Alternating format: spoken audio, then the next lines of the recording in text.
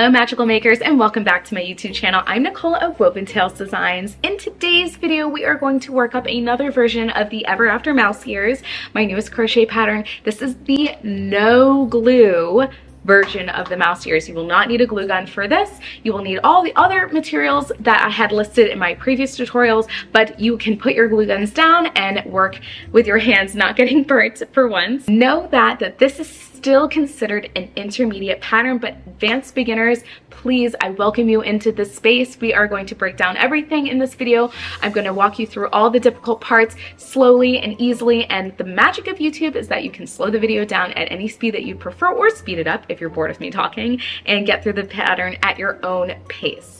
For those that have not made the other version of the pattern, know that you are going to have to go back and you're going to have to work up the ear bases of the ear. So that is these circles here. You're going to have to fasten them off with a longer tail at 18 inches. So if you haven't made those yet, please go back into my tutorials I've listed down below and check those out. I have left and right-handed versions of both of those videos.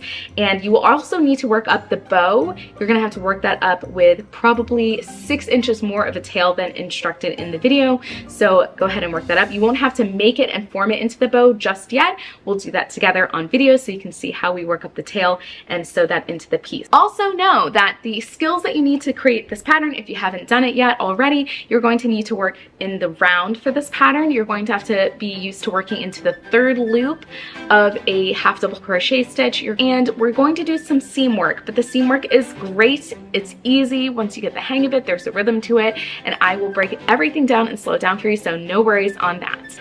And on that note, let's get into this video and check out our materials list. Okay, magical makers, let's talk about those materials and tools that we'll be needing to get started here.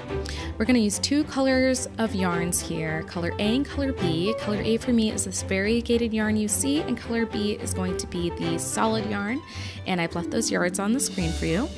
You're going to need polyfill stuffing, that is super important.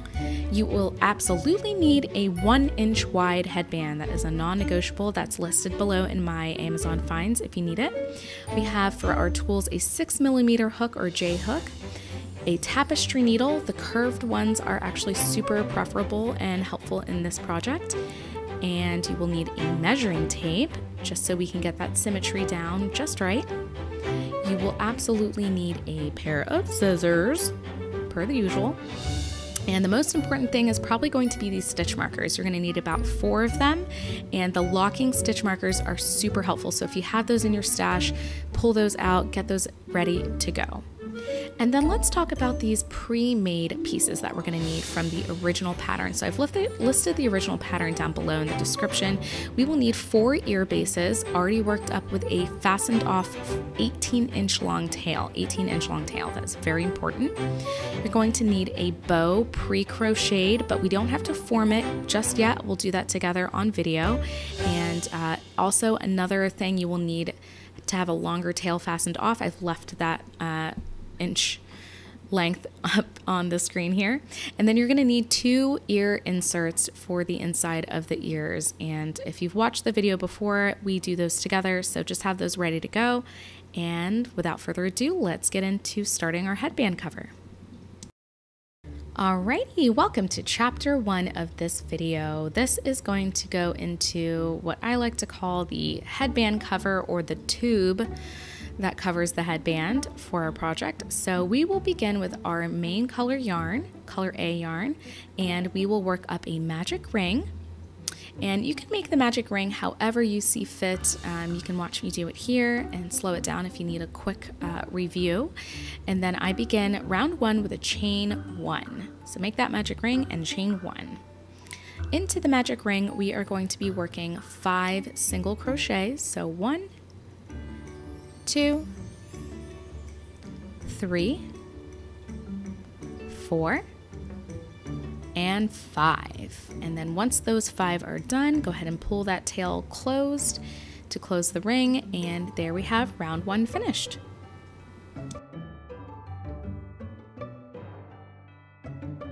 Alrighty, and then rounds two and three are really simple. We call this a Netflix and chill moment. You're just going to work single crochet in the round. Your stitch count doesn't change. You still have five single crochet at the end of both of those rounds. Just remember to start using the stitch marker here to keep track of the first stitch of every round because we will be working continuously until the end of the headband, until the end of this chapter. So, um, do as I say here and not as I do. Um, I am a little bit naughty with my stitch markers. You're going to see evidence of that later. Full transparency here. Um, but definitely just, there is a lot of rounds to keep track of. So just keep using that stitch marker so you don't lose sight of where you are. It's super hard to retrace your steps once you get started here. Um, and then this is going to curl in on itself. Just go with it um, for like the first, like for the first one and a half two and a half rounds here. Um, once I get the first stitch worked and marked for round three, you're gonna see me pause.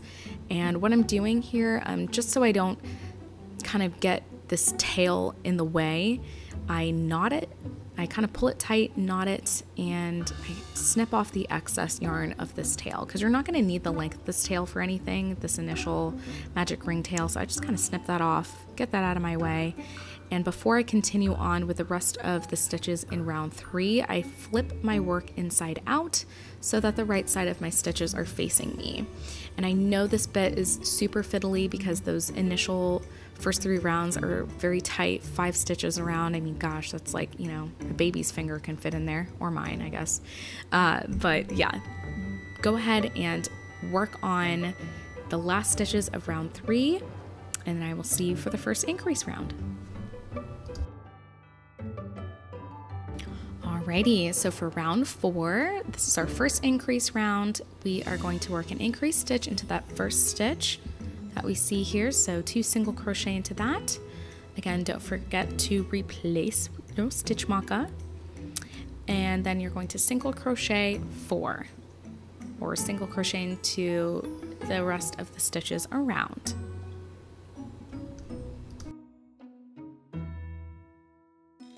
And then it's pretty simple after this. For the next six rounds after round four, you will work single crochet in the rounds, a little Netflix and chill to give a little bit of length to our tube.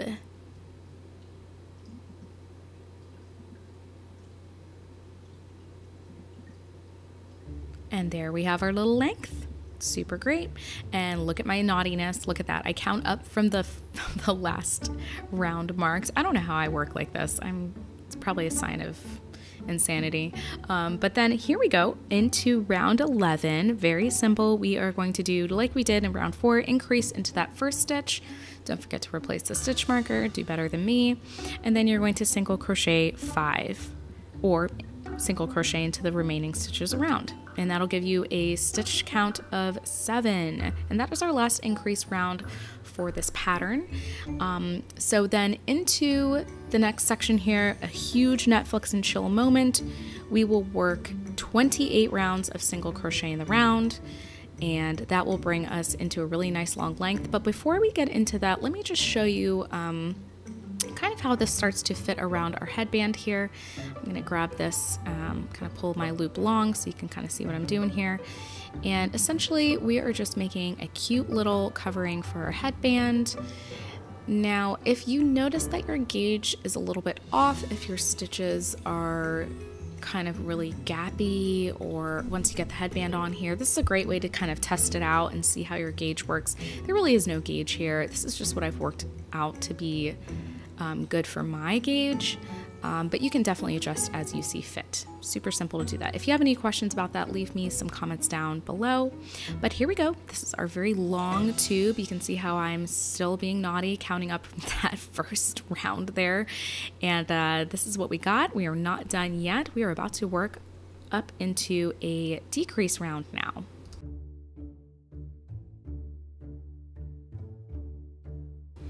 All right, so round 40 is our first decrease round. I tend to use invisible decreases when we do decreasing for this pattern, um, but you can totally do a normal decrease if you wanna see how I do it here. I insert my hook into the front loop of the next stitch there, and then I go ahead and without yarning over, insert my hook into the front loop of the next stitch. So I have two front loops on my hook, just like that. and then yarn over and pull through the front loops just like that. That's to gather them together. Kind of, it almost looks like a knitted decrease right there. Almost looks like a, yeah. And then you're to yarn over and pull through the two loops on your hook to complete the single crochet. And that's an invisible decrease. Again, you can do a normal decrease if you're more comfortable with that. I just tend to do that here because it's flatter and it tends to be not as bulky um, on the headband replacing that stitch marker. At least I do it on the shaping rounds. and then you're going to single crochet into the next five stitches and that will bring your st stitch count down to six single crochets for round 40. Six single crochet.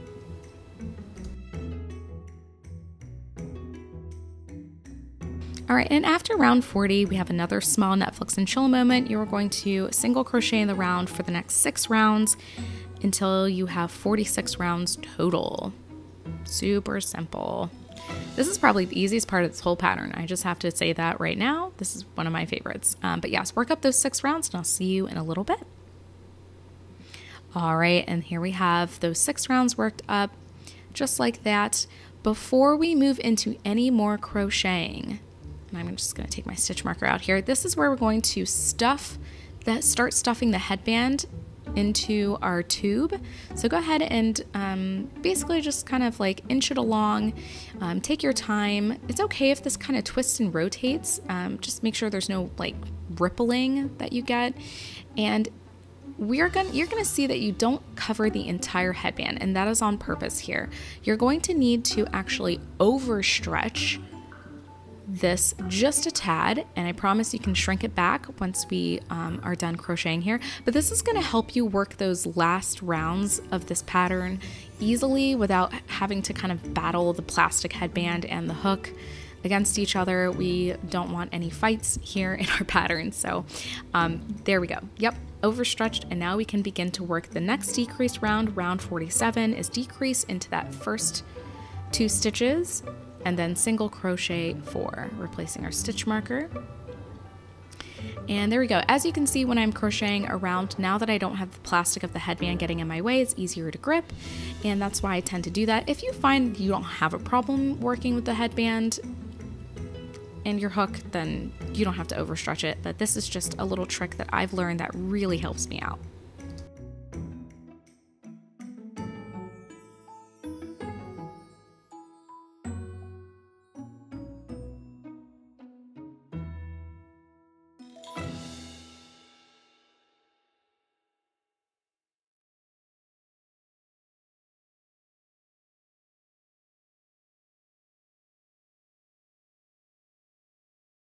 All right then, and then we will just be working some quick single crochet in the round for the last three rounds here, rounds 48 to 50. Once you're done with that, you're just gonna fasten off with a normal tail and you're going to take that tail and close up that end of the tube here and do that as you see fit. I've kind of sped it up here so that you're able to um, just kind of not watch me drone on with the simple pattern here. Um, but uh, once you have that circle closed up at the end, you will then just weave that tail into your work. And I'm speaking before you see it happen, just so you kind of get a heads up of what you're looking at here. And weave that tail into your work, and then don't forget to redistribute that fabric back over the headband. That is super important. You don't want a weird floppy part of the end of the headband. Um, but that should, this round count should cover the headband very easily. If you find that you need more or less rounds, that's super easy to subtract or add. Um, you'll just pull back those shaping rounds and then kind of adjust as you see fit. But this is essentially kind of a very simple way of covering a headband. I have two increases at the very beginning of the tube and then two decrease as at the end of the tube. And I kind of take a minute to pause, overstretch the covering over the headband so that I can kind of work easily into those last rounds. And that's my secret sauce. There's really nothing to it here. Um, again, this is the easiest part of the whole pattern. The hard part will be the seam work that we have later on, and um, the sewing seems hard, but it's not. I promise you. Just giving you a little foreshadowing, you will absolutely be able to do it. And this is a great pattern for those that feel adventurous and they're still in the beginning stages of learning kind of how to seam pieces together. This isn't a garment, this is an accessory. So the pressure is off and know that um, it's easy to pull out sewing stitches so you will have an easy time.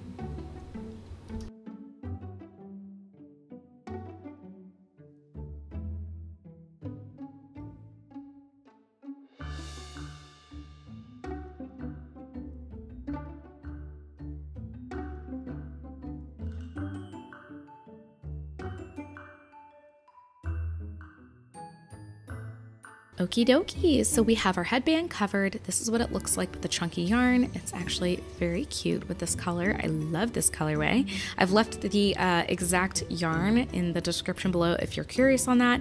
Now what we're gonna do is to get this headband ready for the last part of this pattern, we are going to go ahead and measure around it and place a couple of our all four of our stitch markers just so that we know where to put the ears. And I promise you this will save you a lot of agony later. So to begin by placing the stitch markers find the tip of the headband it doesn't matter what side and you're going to measure up the midline outside of the headband and find about three uh, excuse me six and three quarters of an inch up the side and you're going to go ahead and take that stitch marker and put that around the post just like so. The post of one of those stitches on the center, kind of like the center line of the headband. And then repeat that on the other side, again, taking the tip of the headband, measuring up the side here. I like to use the big numbers. Look at me. I have really poor vision, so that's why. and uh, you're going to find a six and three quarter inch mark or six and a half. I kind of float between six and a half and six and three quarters. Six and three quarters tends to be my magic number. Um, but you can, it, this really depends on you. How far apart do you want those ears to be? And uh, if you want them to be closer, go ahead and inch them a little bit closer towards each other. If you want them not as close, you know, pull them out. And then the next set of stitch markers, we will measure from that inner marker. I'm gonna call these the inner markers, the first two that we place. Find a two and a half inch point down towards the tip and then put a stitch marker and lock it around the post of that place. There we go. And then repeat that again.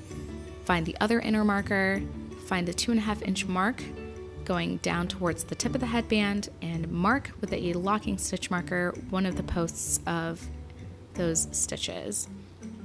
And just last but not least, before you set this aside, just go ahead and take a second to just look at what you're working at see if it looks symmetrical. It's super easy to think it looks good and then start sewing onto it, and then you will have to pull out too many stitches and it will just be a tragedy. But this, I promise, will help so much in the long run. All right, go ahead and set that aside and let's get into chapter two.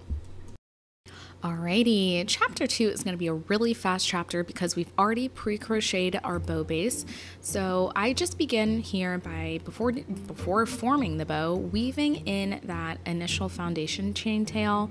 That is going to give us um, a free piece to work with, nothing in our way. So go ahead and weave that tail in if you haven't already done so and snip off the excess. All right, then to begin our first step in forming the bow, um, we are going to line up those chain two, skip chain two sections of the bow and make sure that they are in the center of our piece. That is going to be how we kind of create this like center of our bow. All right, and then once you have those lined up, get that tail ready to go. And you are going to go ahead and pinch those sections together just like that, kind of pinch them together. Sometimes I use the first wrap to pinch them together. And then take the long tail then and make wraps around that center of the bow now that it's nice and pinched and wrap just as many times as you want. I tend to do about 20 to 25 wraps depending on um, how big my bow is how that chunky yarn works up. It's totally up to you. This is very subjective. You just want to make sure that you have at least 12 to 18 inches left of a tail to work with when it comes to um, finishing your wraps. And you're going to need that tail to sew later. So yes, 12 to 18 inches left of the tail you should have. Once we do that, flip the bow over and then go ahead and insert your hook underneath those newly made wraps. Careful not to unravel the wraps And with our hook peeking out on the other side, we're going to loosely yarn over or just catch that yarn under the hook and then pull that yarn underneath those newly made wraps, just like so. You're gonna have a loop on your hook here. And then to finish this off and to quickly lock it into place, you're going to yarn over and pull through the loop on your hook and then once more to kind of chain one and fasten off. And there we have it. Like I said, this is a very quick part of the pattern. Go ahead and just tighten that knot down onto the wraps in the back, just like so. Sometimes I fight with this a little bit longer than I want to. and then there we have it, a newly formed bow. That tail will be used again for sewing later. And then once this is flipped back over to face you, go ahead and just kind of fluff those stitches out, redistribute the fabric on either side of the wraps, and we have a very cute bow. Look at that bow. Good job.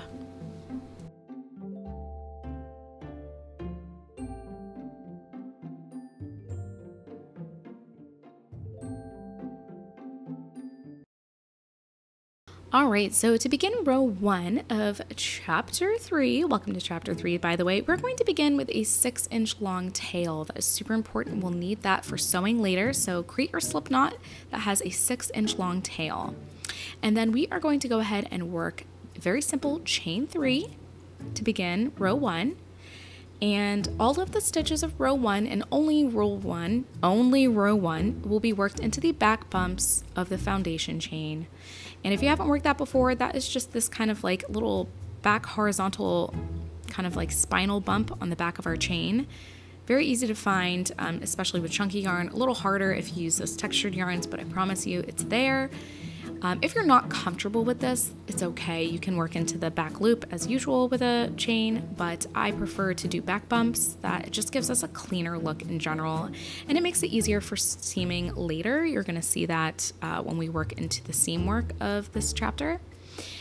And yep, it's just single crochet across into the second and third chain from the hook, and then chain one and turn for row one.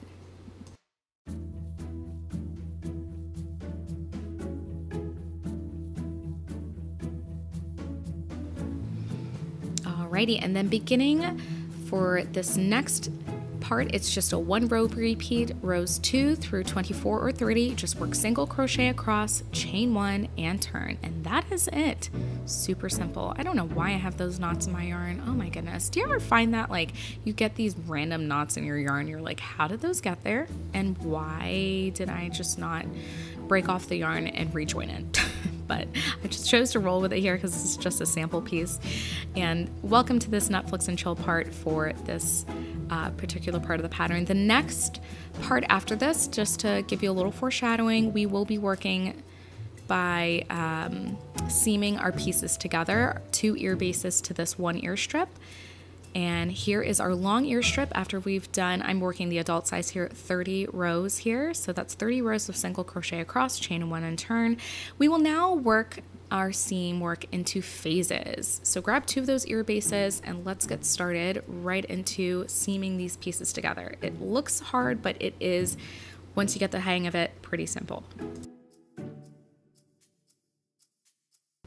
We are going to work into the raw edges or the ends of the rows of rows 1 through 24 or 30 and we're also going to work into those unworked loops of the foundation chain. That's why we use those back bumps. And we will be doing both sides of the ear strip so the only part that's not going to be seamed to these ear bases are going to be the tops of the last row made. Um, and then you're going to work into the third loops of the ear bases of that last round that you worked. So those, if you haven't seen them before, the third loops are these horizontal bars on the back of a half double crochet stitch. And I'm just going to insert my hook underneath one so you can see that here. So that is a horizontal bar, not to be confused with the very top of the stitches. So if I put my hook through the horizontal bar, I'm not disrupting the tops of any of those stitches. In fact, it's going to bring those stitches forward and that's what gives this, gives this ear pattern a very specific look. So to begin our first seaming stitch, I'm working into the first raw edge that I see, which for me is actually the last place I worked a single crochet stitch into that last row. So go ahead, insert your hook just like so. If it seems obvious, it's right for when we're working into each raw edge. So keep that in mind. It's not as hard as it looks, it's just if you haven't done it before, a little bit daunting at first. Then grabbing our ear base, have the right side of that ear base facing you, locate that first half double crochet stitch, and then find that back bar or that third loop of that half double crochet stitch right there. And that's gonna be the shortest out of all of those, that first stitch there. So the best way to find it um, I tend to insert my hook from the wrong side to the right side, just like that. And then I kind of hook underneath and I catch that third loop. And that's how I find that first one because sometimes, depending on the, the yarn, especially if you're working with chenille or velvet yarn, it can be a really difficult thing to find. There we go. I found that third loop. I have my raw edge and my third loop on my hook at the same time here. I'm going to pick that yarn back up here and I'm going to yarn over my hook and pull that yarn through first the third loop. So going back the way we came, first through the third loop, and then, and you're gonna see me do this a couple times so you can kind of see it. Yep. First through the third loop. Next through the raw edge. You should have two loops on your hook here and then you're going to complete the seaming stitch by pulling that loop through the loop on your hook. So it's essentially a slip stitch that is in, that is joining two pieces together. We're going to do that again so that you can see that again. It's easier um, if we kind of work a little slow for these first couple stitches. Insert your hook into the next raw edge. That is the next obvious hole that I see here. Um, not necessarily the turning chain, but although you can use that if you so choose, I'm inserting into that next big open space below the last stitch made. And then insert your hook into the next uh, third loop here. Just like that, it should be easier to find the next third loop. Yarn over, pull through that third loop. Continue to pull through that raw edge you should have two loops on your hook. And then lastly, pull through the loop on your hook, completing that slip stitch. And there we go. I'm gonna go a little bit faster here. Find that next raw edge, just like so. Insert your hook and insert your hook into the next third loop. Yarn over, pull through the third loop on your hook and the raw edge. And then finally through the loop on your hook. Now, as you go along here, now that things are starting to just easily line up, it's going to be much easier to kind of pull that loop through all at once, the raw edge and the third loop. Um, so take your time with this. This is a new method for a lot of people. Seaming is not necessarily a preferred way to crochet these days. I know low sew, continuous rounds all day, every day are everybody's jam, but doing the seam work for these ears is what gives it its structure. When you go to work seam work like this, this is what gets the ears the ability to stand upright all day when you wear them at the parks. So I promise you, this will make your life much easier rather than crocheting it all in one piece it's going to give your ears such a beautiful upright look. And as you can see, as we're connecting this ear strip to the ear base, it's going to curve with the outside of the ear base. The last seaming stitch will be worked into technically those unworked loops of the foundation chain. So you'll see that um, I'm going to work all the way around and I'm going to meet you until we get to the end here. I'm going to meet you at the very last seaming stitch so that we can kind of do that together. Careful not to work into the chain too. That has that is not going to be where we put a seaming stitch. And then here we have our very last seaming stitch for this side of the ear strip and our last half double crochet stitch to work into and its third loop. There we go. So we are going to find that last raw edge, again, the last obvious hole that we need, which is the unworked loops here that you'll be working under and find that last top of double crochet stitch, not the chain two, yarn over, pull through both of those, and then the loop on your hook to complete phase one. Congrats! Phase two, I kind of already jumped the gun here. You're going to chain one at the beginning of phase two and then work in one more slip stitch into that last place that you crocheted your last seaming stitch into. So essentially we're creating a corner to turn our work here. You're then going to work a slip stitch into the next set of unworked loops or technically the first raw edge of the right side of the ear strip and then chain one. And that is phase two. Super simple. Turn your work and get ready for phase three.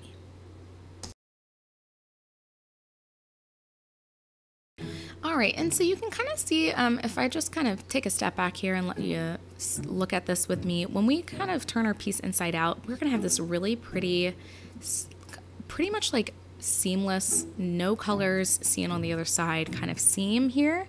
And it's gonna create also a ridge on the inside of our ear and that is similar to the original pattern actually the same exact thing as the original pattern the only difference is, is that we don't have this longer part of the ear strip because we won't need it um, so that's the difference between the two patterns here all right so to begin phase three we are going to start seaming pieces right away. We're working on the right side of our ear strip. Insert your hook into that last place that we made our last slip stitch here.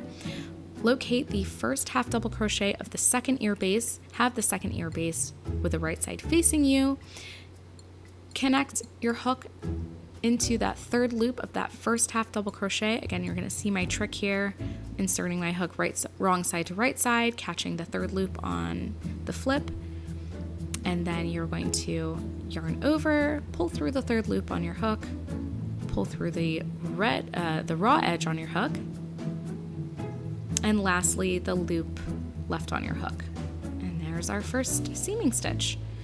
And you're gonna continue to do this. This is the same exact thing that we did with phase one, except we're working with the other edge of our ear strip and the second ear base. So that's the only difference. We're working all the way around and as a rule of thumb, you should always have the hook inserting into the raw edge first and then the third loop second. And I hope these instructions make sense. Sometimes it's really hard to translate um, our magical ways of designing, or my magical way of designing. I don't know if it's magical. I think some of I, what I do is kind of like crazy, but um, this is again just a very like new method of seam work for a lot of people. If you want another way of seeing how this is done, you can go ahead and check out how I do these seaming stitches with the uh, original video. I also explain it there. Work all the way around, get those seaming stitches until we get to that last half double crochet, and I will see you in a little bit.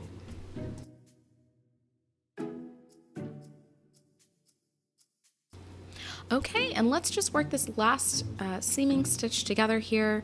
Again, don't work into that chain two at the beginning or the end of that round because that is irrelevant and we will not need that for now. Uh, insert your hook into the last raw edge, the last third loop, pull through both of those and the loop on your hook to complete our seaming stitch, and then you're going to fasten off with a six inch long tail. And that is very similar to when we began our ear strip with a six inch long tail, we are going to end our ear strip with a six inch long tail.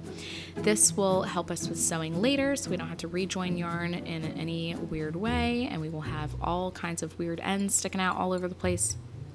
Perfect. And there we have it. That is one ear complete. Now I know it looks a little messy. Um, you can snip off those initial uh, magic ringtails of the ear bases if you'd like. You won't really need those. And uh, just to show you what this looks like, I'm gonna go ahead and flip this inside out. And this is a step you have to do. So go ahead and flip that inside out, examine your work. You should have a pretty clean look here. It should look kind of like a, a giant Oreo cookie of some sort, but like a weird color, like the weird flavors they come out with. And there we have it. That's one ear complete. Let's go ahead and finish this off by putting our ear insert inside, just, as, just like that. Don't let it hang out the side. It should tuck in nice and easy. If it doesn't, you can go ahead and trim it a little bit just so it doesn't stick out, um, just like that. And that's for some inner structure of our ear. And then we're going to go ahead and stuff our ear with some polyfill stuffing. So, excuse the earthquake. um, if you don't want to use polyfill stuffing, I'm kind of showing here you can actually do a couple of these ear inserts on the inside of an ear. That gives you more of like a flat ear. So that is another look you can do. Um, I actually have done that with some ears before, and it's actually a great look. It's just not as three dimensional as the stuffing provides. So, um, if you're doing like I do with the stuffing here, go ahead and kind of pick it a little bit apart and then add that onto either side of the ear insert on the inside of the ear. Less is more, I find when I kind of stuff a little bit at the beginning and then do the other side, then I can kind of adjust as I see fit. Um, and this is all personal preference. There's no magic amount of stuffing that you can use. You just kind of use what you want and um, there you have it. These ears are so customizable. I would love to know into the comments below what kind of yarn do you have in mind? Are you using a, a straight up chunky yarn like this? Are you using a chenille yarn, a blanket yarn? Um, this is a category 5 weight yarn. I've found that using category 6 weight yarns, you can use the same stitch count measurements as this pattern, but um, you might have to adjust it a little bit, but it is possible. Know that the bigger and thicker yarns will add weight to the ears, so just keep that in mind when choosing your yarn. But there's that. Awesome. Go ahead and do all these steps again to create your second ear and stuff it, and I will see you in a little bit.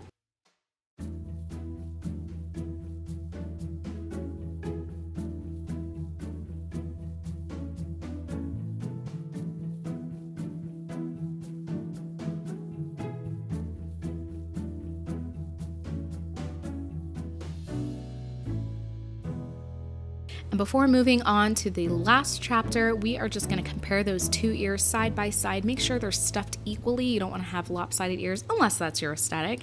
And there we have it, two ears done. Congratulations, you have made it to chapter four of this pattern where we begin the final assembly of our pieces. So we have our covered headband, we have one of our ears here. We're gonna begin assembling by doing one ear at a time first, and then we're going to sew the bow on last. So what we'll need to do is get that tapestry needle out and thread it with the six inch long tail of either side of the ear strip. It doesn't really matter, um, but if you are planning colors and where they fall on your ears, this is kind of where you're going to take some time and look at that. The first thing that we do here to assemble this to the headband is that we go ahead and connect that bottom edge of that ear strip to the outer marking that we have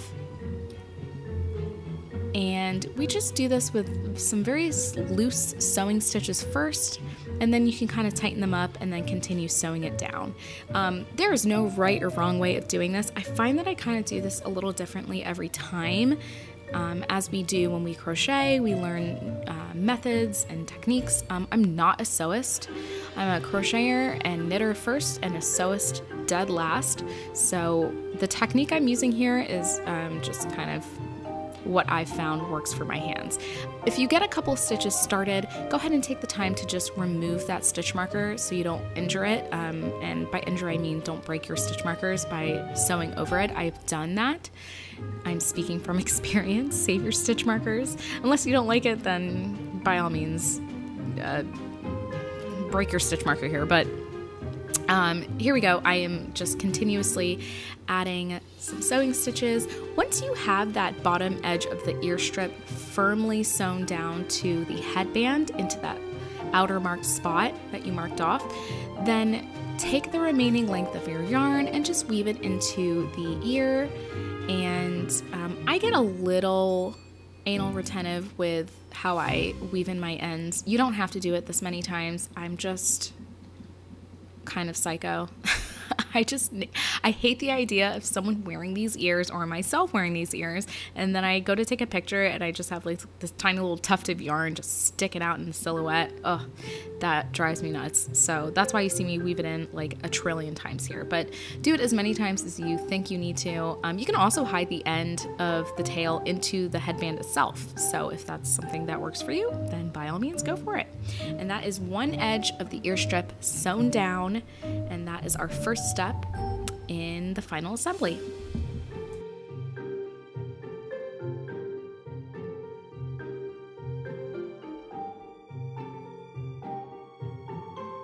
All right, and then the next step, you're gonna repeat the same thing on the other side, but with the inner marked spot. and you're going to sew the other end of the ear strip down onto the headband at that spot, just like that. Um, and again, this is totally like where you can do the sewing as you see fit. If you start making a couple of these stitches sewing wise and you realize that you measured wrong or you um, wanted to make an adjustment because your initial goal is not being met, do the adjustment before you make 5,000 stitches and then weave your end in. Um, take this time, you can lay the piece flat on a table in front of you. I actually encourage, as I'm doing here, um, I encourage you to get sewing on a flat surface because doing it on your lap can kind of leave you in the space of not seeing how this really looks. The flat surface somehow helps me. So there are both ear strip ends sewn down just like that. And then the next step is pretty simple, but we have to do a couple of steps before we get to sewing. So this next step, we are going to sew down the bottom edge of the ear base onto the headband itself. But before we do that, to make your life easier, I've come up with this fun little trick here. I pulled the edge down a little bit and I'm gonna take those locking stitch markers. This is why I said these are important to be locking. And again, be careful with them. The chunkier yarn tends to be a little harder to uh, work through with these stitch markers, you're going to take those stitch markers and use them to tack and hold the bottom edge of the head of the uh, ear base onto the headband in a couple spots. So I'm doing it in the chain two place from the beginning of the last round of the ear base here on the opposite end of where the fasten off point is. So right here. And then I, the second point that I tack down is the middle point of the bottom edge here of the ear base. And the reason I'm doing this is because I am, again, I'm not an advanced sewist. I can't keep my stitches perfectly like spaced out. I kind of just go a little bit all over the place. So this keeps my stuff even. This keeps my work from getting too sewn down in one part and not sewn down enough in another part. Um, and when we go to sew the edge down here, you want to make sure that it lies flush with the outside edge of the headband. So not going underneath the headband, that's going to affect the fit of your headband. You want to make sure that it's flush with the side of the headband. And when I begin sewing this down, I take a little extra more, I spend a little more time on that chain two slip stitch part of the ear base and I do that because I want to make sure that there are no holes here. This is tending this is where the holes tend to kind of show themselves and you don't want that stuffing to come through. So take a little bit of extra time just in this corner part. And when you do that, you will have a very clean edge to begin with. And then just continue to make sewing stitches all along. You're going to see me kind of work my needle into the like inside of the headband cover um, I like to go onto the inside of these single crochet stitches that you see on the bottom last, I guess it's like second to last row of the ear base, and then back through the inside of the stitches on the headband. And I kind of just keep working like that all the way across until I get to each stitch marker. Once you get to each stitch marker, you can go ahead and remove it. Again, be nice to your stitch markers. If you don't need them anymore, get rid of them. They're going to be in your way anyway. Um, and that's pretty much it for this step. It's pretty simple. Um, you can speed through this if you are tired of hearing me talk and tired of seeing me work. You kind of get the picture. And uh, yeah, this is like this is also a good point to to say if you find that you just want to get it sewn down you don't really care about how clean it looks but you still want it to look clean you could totally get a trim from the store. You could get like a little like a like a, a ribbon or something like some kind of trim and you can i mean i know this is a no glue pattern but you can get a trim and kind of like glue it down onto this seam line if it gets to be a little messy and you just want to get it sewn and you don't really care about it being, uh, you know, crazy. I don't know what happened with my camera here. my camera's going everywhere. But yes, so there are so many options with these ears. Um, I'm showing you the most basic form. If you want to be monochromatic with it, you can. If you want to use five different yarns you can, but this is such a friendly version of the pattern because if you have nicer yarns that you're not really wanting to add hot glue to or take the risk with hot glue with them, you can totally use these sewing versions of the pattern to make mouse ears with your prettier hand-dyed yarns. That's more of what I'm referring to. Like I have a couple of um, yarns that I bought from Sorella that are just gorgeous. And I actually got them from her Disneyland collection that came out this past year. And I absolutely love them, but I haven't been able to use them because I just don't want to put hot glue on them. It feels sacrilegious as a crocheter. So this is definitely a method I would use if I were to make mouse ears with those yarns.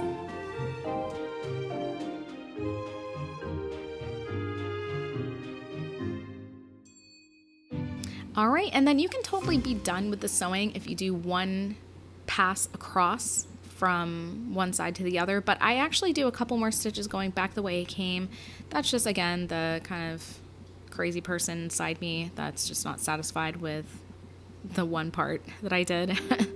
and then once you're satisfied with how much you've sewn, you can just weave your tail back into your work, either on the headband or on the inside of the ear, snip off any excess, and that should give you a really secure sewn down edge of your mouse ear. Super, super, super simple here. And you can see how these, like, using our stitch markers to pre-mark everything really does help us in symmetry and keeping things clean and tidy looking. There you have it, one edge sewn down. Yay! You're gonna repeat the other, uh, repeat the same sewing technique for the other bottom edge on the other side of your ear. And we'll see what that looks like in a little bit.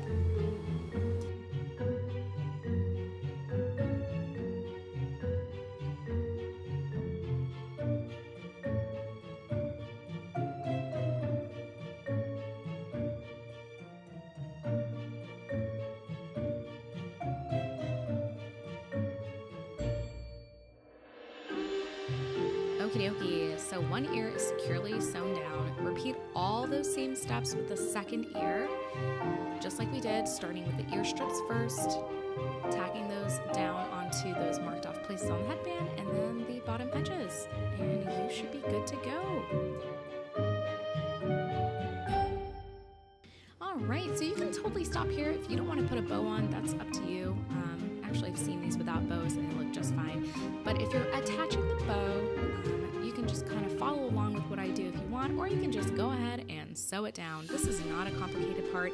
This is probably the uh, most straightforward part you're going to see, but you can see my technique and how I do it. I'm, again, just um, not an advanced sewist, but I do like to take my time with this part. Um, when I got some feedback from my testers in the past when I was designing this pattern, they mentioned that the bow was the one thing when they wore these ears all day at the parks, the bow was the one thing that got kind of droopy with the weather. So if it was really humid outside, for some reason the bow just didn't like to stay upright. So you're gonna see me sew it down in a very specific way intentionally so that I make sure that the bow doesn't flop and, and droop. I want my bow to be perky, I want it to be happy looking, I want it to match the environment that I'm in because um, that's my aesthetic. But if you like a droopy bow, by all means, you don't have to sew it down this much. Um, find that midpoint, that center point at the top of the headband here, and just make a loose stitch, kind of get acquainted with where your bow is going to be placed. I'm sure you could also use stitch markers here to kind of tack the bow down onto the headband so that you can kind of sew um, freely, but this is just personal preference. Um, tend to work within the stitches of the headband here. I work with some of the stitches on the back of the bow directly to the left and right of the ear wrap or of the um, of the center wraps and I do that so that I can kind of get not just the very center of the bow tacked down but just kind of like a little bit to the left and right of it on the back of the uh, headband here. I also like to mention too um, be sure you know what side of your headband you want the bow to be facing out for. I chose to highlight the warmer colors as my front of my headband for this set of ears, but you could totally do whatever you want. Um, you also don't have to sew the bow down on the middle center point of the headband. You can sew it on either side, right next to one of those ears. You can sew it kind of like sideways, whatever you like. I mean, this is your bow, whatever you think is good for you and your style. These, the, this pattern is meant to be a jumping off point. So my whole thing is I love yarn bounding. I love taking my projects and seeing how, what, what I can do to push my creative envelope open just a little bit more with every project. So once you, I mean, if you've made your first pair already and you just want to take a chance with it, just go for it. I say like the most unique ears I've seen are the ones that don't follow exactly what I've done.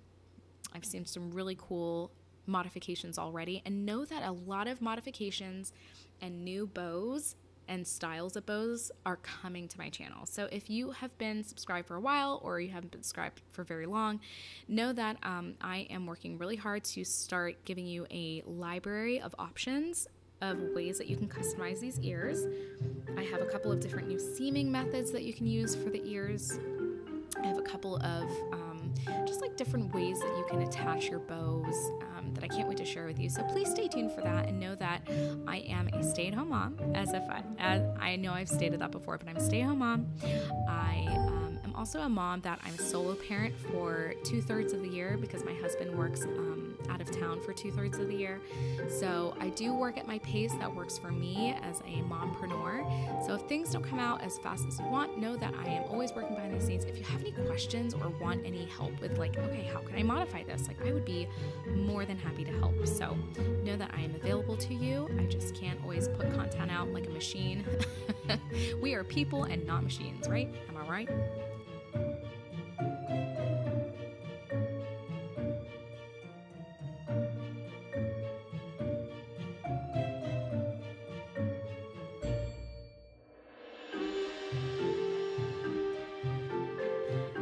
Thought on sewing this bow down, um, I'm speeding this up a little bit so you can kind of just get on with your day here.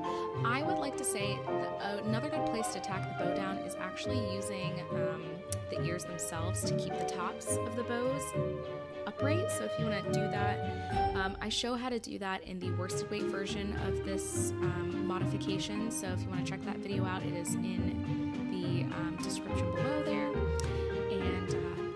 There's our bow. I hope you've enjoyed this video. Please give me a thumbs up if this is up your alley. Please go ahead and stay tuned. Hit the bell button for notifications and have a creative day. So. Look at that cute little pair of ears.